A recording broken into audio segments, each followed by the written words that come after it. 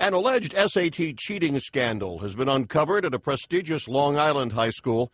This college student is accused of taking the college entrance exam for at least six students. These students paid someone to take the test for them. Officials say 19 year old Sam Eshaghoff was paid up to $2,500 to take the exam. Eshaghoff was arrested on charges including scheming to defraud and criminal impersonation. His attorney says his client will plead not guilty. Across the United States, no one has ever had a case go to criminal court because of cheating in an exam or alleged cheating in an exam. Six students also were arrested on misdemeanor charges. Eshaghoff and the students who were not identified because of their age all attended Great Neck North High School.